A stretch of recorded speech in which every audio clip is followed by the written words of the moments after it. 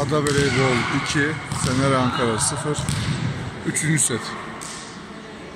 Çok çekişmeli, çok güzel. Harika bir maç oldu.